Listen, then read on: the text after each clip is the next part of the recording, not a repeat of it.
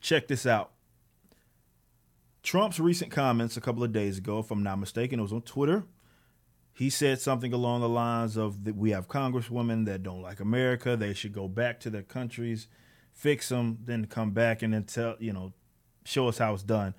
Something along those lines. And because obviously Trump is white and, you know, they, they call him literally Hitler, he's racist and so forth, they are going to pin race on that. So people are itching to justify it. People are denouncing. People are pearl clutching. There's a lot of meltdown surrounding it because if somebody white says something or along the lines of telling someone to go back to the country that they come from, they're going to pin race on that, even though that is not synonymous to race. Like telling somebody, for example, to go if they're born in Mexico, you tell them to go back to Mexico.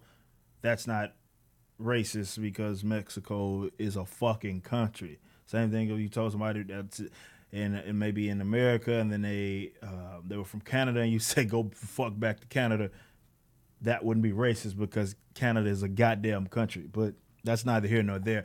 I just thought that it was funny because I get, you know, I too get told to leave the country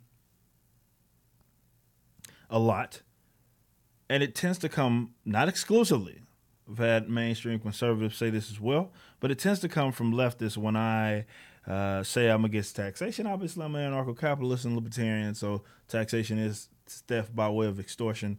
Um, so anytime I'm in opposite or I oppose something that the government does, some of the first things that these guys tend to bring up is telling me to move to the country, another country, right? That's the first thing they bring up. And the number one thing, and most libertarians will agree, the number one is just up there with who built the roads. The number one thing that these level one defaulters point to they will say, hey, you should move to Somalia. So I guess if I was using their logic, I should be calling all leftists, certainly those white leftists, that call me, that tell me to move to Somalia because in Africa and I'm black. Maybe I should just pin racism on it. But the reason why they reference Somalia, for those that don't know, is because um, they like to use that as sort of this beacon of anarchism, right? And they say move to Somalia because even though Somalia is a failed socialist state, never mind that, that's usually the number one default. So I wanted to show you guys something because I thought this was hilarious. I went to my Twitter and I wanted to go find some old tweets that I could reference and, and, and really see what was going down with them. Um, uh, people bringing up Somalia and telling me to move, right? So you got this guy he says, if you want to, I don't know why he's typing like this, by the way. If you want to run a successful company in a land with no taxes, then move to one of Trump's shithole countries with no laws and government, which again, fucking Somalia has has a government. They have laws. I hear Somalia is lovely this time of year, um, or buy some yada yada in the desert. So he's telling me to move to Somalia, basically. Um, and this is the same guy, and I went to look on his page he's retweeting all of this shit about people uh, being told to go to the countries, and this is usually in reference to Omar, which is probably who exactly we had in mind because I believe she's a Somalian, if I'm not mistaken. And I'm like, wait a minute, y'all tell me to move to Somalia all the time. It's not racist. So if you go up and down this guy's timeline, he's pearl clutching as well about president's comments. This guy is the same dude that told me just a year ago, literally a year ago, that he told me to move to Somalia, basically. Move to one of Trump's shit old countries, and then he says, I hear Somalia is lovely. Now somebody tells tells them to go to uh, uh tells Omar to go to Somalia. Now it's racist.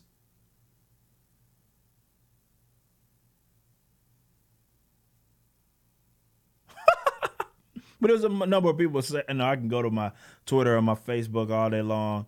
Everyone in I can go to Sudan or Central African countries. Like, again, I'm black, remind you. So I should be pinning racism on all these guys. This guy's name's Cain Vasquez. I don't know if he's a Spaniard, but he looks, he might be, you know, of Mexican descent. Ironically, somebody maybe of Mexican descent is telling me to move to goddamn Africa. and yeah, he's also posting things um, regarding fucking what this the same shit talking about progressives and yada yada. Um, it's the same thing. This guy to take a trip to Liberia or Somalia because I said that you know no taxing. That sounds like a fantastic time. This guy here as well moved to a third world country. I get this shit all the time. I get it all the time. And I never thought that what I should have been doing, if I wanted to cause some sort of stir and uproar, I should have been calling these folks racist. I should have been calling these people racist. That's one of the main number one defaults that I get. When I say that I'm opposing, let's say, anything, any law, definitely my overall ideology, right? They tell me to move to Somalia. They tell me to move to another country. Revoke your citizenship. They tell me all this sorts of shit. I get it all the time. Leave. Trump tells them the same shit. He tells them to come back. They don't ever tell me to come back. He at least told uh, uh, you know told them to come back. They don't ever tell me that shit. They just tell me to get the fuck out. But because they can't pin a race on it, because nobody's telling me, I guess to go back to where I come, you know, I came from essentially. Because I was, you know, I was born in Texas. I live in a city that I was, you know, I was born in. So nobody can really say that. And it would it would be self detonating for them to do that. Think about it. And the, what I usually say when people say this dumb shit, I ask them, is like, is that what you, is that what you told black people during, say, civil rights era, or black people that were obviously against slavery. Is that what you told them when they were in opposition to some sort of law that was an act of aggression, or something that the government was doing? They didn't agree with it. Is that what you told them? You told them to fucking just move. You don't like it. You don't like having these. Uh, you don't like the Louisiana box car, you know, act or whatever, the separate box car act. You don't like that. Oh well, move. You don't want to be a slave? Move. You don't want slave laws, Jim Crow laws? Move. Right? They and they be like, no, I wouldn't say it's, it's different, right? And they start moving the goalposts and all sorts of shit. This is what it boils down to, people. And I don't know how many times I gotta point this shit out on this channel. Leftists, these sorts of leftists, do not give a shit about being consistent. They will move the goalposts repeatedly, as many times as they can, and they will deploy the same tactic that they claim somebody else does it and it's out of racism or a bad thing. They'll do the same shit. Why? Because it's about them being on top. It's about them having a moral high ground. It's not about being just. It's not about being fair. It's not about, it certainly isn't about ridding the world of racism. I mean, you guys follow me. I retweet stuff all the time about, you know, these progressives saying racist, derogatory shit to me God forbid a black person isn't a fucking progressive. I get called all kinds of N words, Uncle this, um, raccoon, like all of that shit. I got called all of that. Just kind of brush it off because I, I, mean, you guys are fucking idiots. Let's just be let's just be 100 with it, man. You guys are fucking idiots, man. I can't get mad at shit like that. And your, your arguments are just too easy to defeat. But I wanted to make this video to show you guys how full of shit these guys are. One, two of them I showed you, right? These same people are irate a year afterwards. Irate a year afterwards. Because Trump dared to tell, tell somebody to, again, largely probably referencing Omar, Congresswoman Omar, who is Somalian. These same motherfuckers tell me to move there.